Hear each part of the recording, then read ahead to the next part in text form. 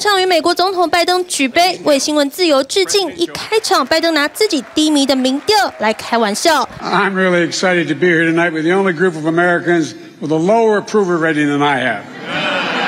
白宫记者协会晚宴因为疫情停办两年，加上前总统川普和媒体交恶，拒绝出席晚宴。回归六年后重新举办，拜登不忘借机嘲讽川普。It's understandable. We had a horrible plague followed by two years of COVID.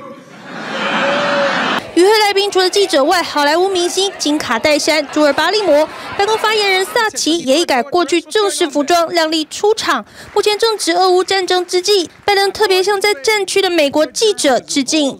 We've all seen the courage of the Ukrainian people because of the courage of American reporters in this room and your colleagues across the world who are on the ground taking their lives in their own hands. 最后，拜登对着美国谐星崔佛酸了一下普京。Trevor, the really good news is now you get to roast the President of the United States. And unlike in Moscow, you won't go to jail. Podium is yours. 记者协会晚宴，历届总统都以幽默演说著称，拜登终于让这个传统回归。TVBS 新闻综合报道，掌握全球情势、国际新闻，全新选择 YT 频道 TVBS 国际 Plus，扩大视野。欢迎订阅并开启小铃铛。